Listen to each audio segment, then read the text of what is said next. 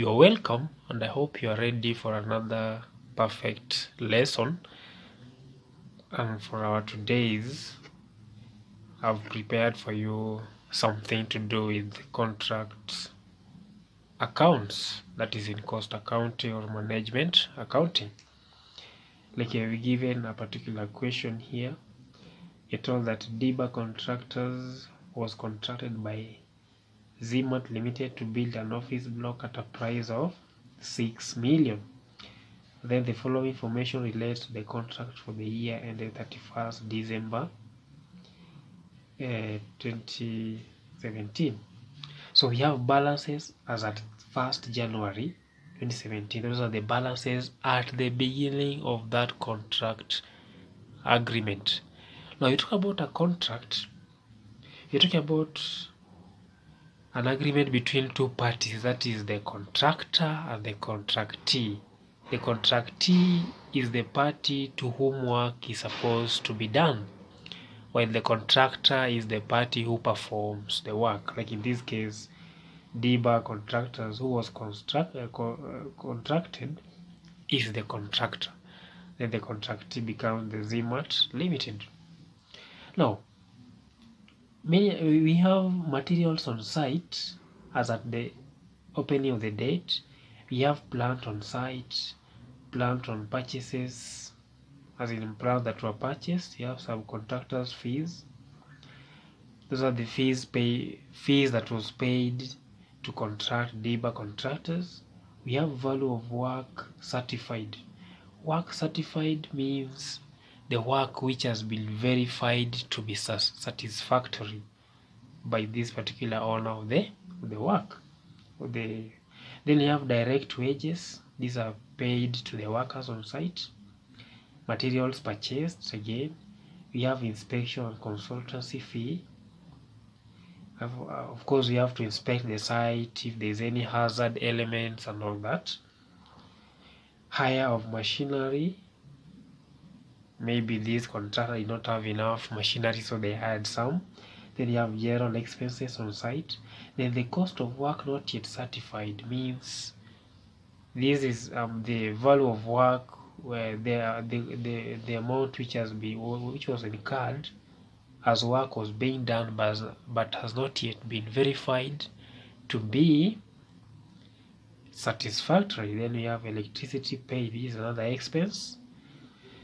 And then we are given additional information. We are told that it is the policy of the company to transfer two thirds of the notional profit to the income statement. Now, we are talking about notional profit. This one simply refers to the amount of profit which comes as a result of the difference between the value of work and the cost of work done.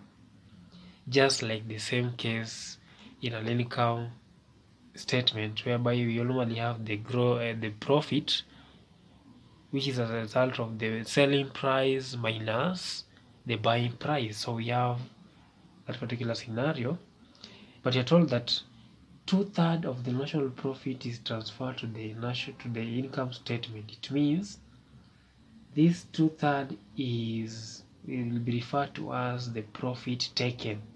So it means a third, which is the difference, is the profit which is not taken. In other words, the profit that is in suspense. Then, as of 31st December 2017, we also given materials on site, plant on site, and electricity paid in advance. So these are the materials remaining at the end of the contract period. It means they were not utilized. Then you are told prepare a contract account for the year ended 31st December 2017. Now, this particular question, we are supposed to have the normal T format. So we have the name of the uh, contractor, contract account for the year ended 31st December 2017. then you realize that on the debit side, we are supposed to enter those values which increases what is supposed to be paid to these contractors. Okay?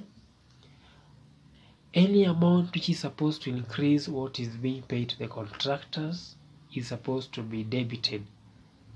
At the same time, we also debit those values or those amount of assets or those assets worth which are going to be available in the contract exercise throughout the period. While on the credit side, we are supposed to enter those values, and in most cases, we are talking about values which have not been utilized or which remains at the end of the contract period. What reduces what contractors are supposed to be paid. Like in this case, we are talking about the closing materials at the end of the contract period. Okay, so with that all in mind, I want us to begin our journey. So we have the balances at 31st, that is the opening balances brought down for materials. So for materials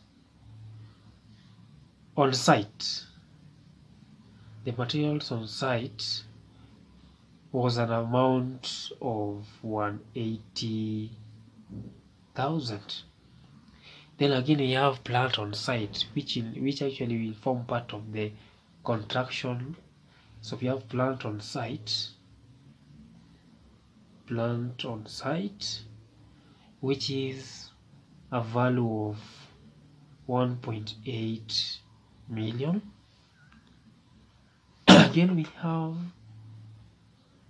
the plant on purchases, plant on purchases.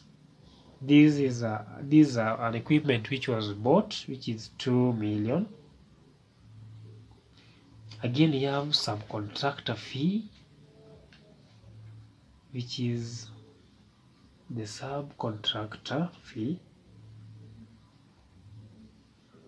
fee which is an amount of 50,000 we have value of work certified. Now this one we are going to treat it uh, later. I'll show you how we go about that.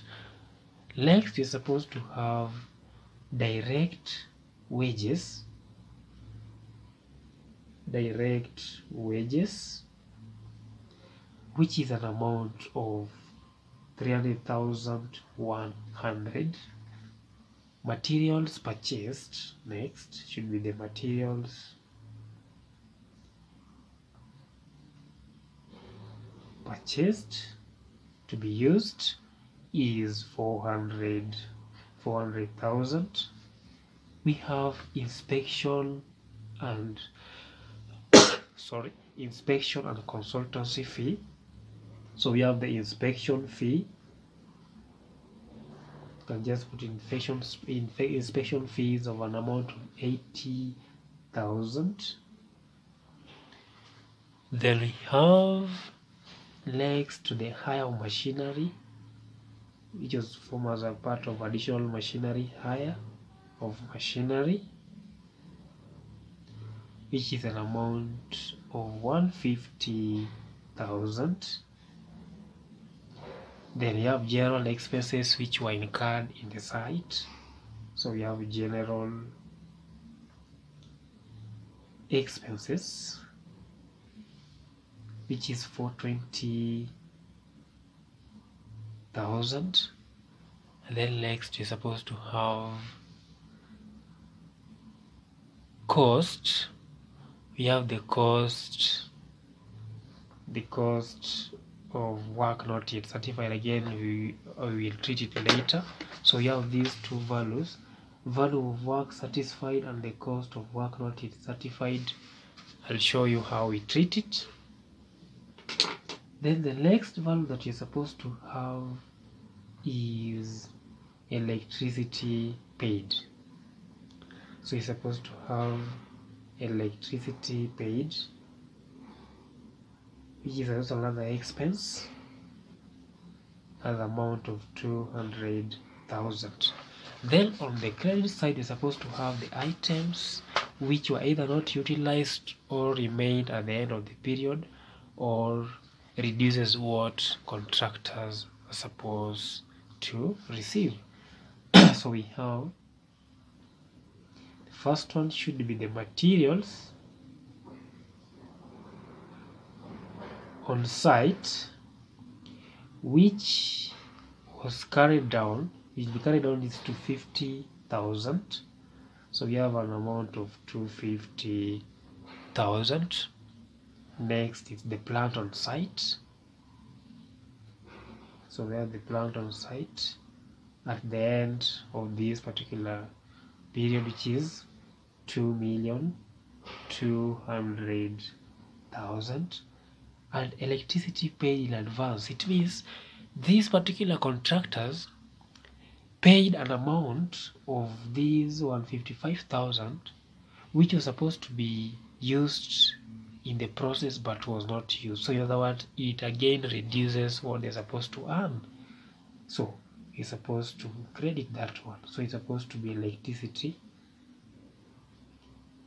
electricity prepayment. So prepayment means was paid in advance. Again you're supposed to credit which is an amount of 155,200 so we are supposed to talk about at this particular point something to do with the cost of work done the cost of work done is going to be the difference between these two totals. Like when you add all these on, when you add the total of the all the items on the debit side you're supposed to get a value of 5 million 5 million 508,000 and we talk about now it should be the same value as the total on the credit side after factoring what is known as the cost of work done so we have a value of five million five hundred and eighty thousand. but now how do we get the cost of work done it should be this total of this one subtracted from the uh, the total of these particular two items here. And when you do that one we get a value of so when you add eh, you can add so 250,000 plus 2 million 200,000 plus 155 200 we get that value. We minus it from this one. So we have 5 million 580 minus the answer we get a value of 2 million 974,800. this one is referred to as the cost of work done it's supposed to be carried down. And I'm going to show you. So we carry it down. After that you're supposed to understand now we have the element of cost of work done. You're supposed to get the value of work done and subtract the cost of work done to realize the notional profit. So we carry it down here as 2,974,800 this one refers to as the cost of work done which has been brought down. Now, on the credit side again, we are supposed to have the element of what is known as the value of work done and satisfied. The value of work done and certified for us to be able to get what is known as the notional oil. So the value of work done certified, value of work done and certified from the equation are told value of work done certified is 4 million so are supposed to have 4 million we are supposed to add the value of work done but not certified. We add value of work done but not certified as in has not been approved by the contractee. And the value of work, cost of work done not certified is 1.2 million.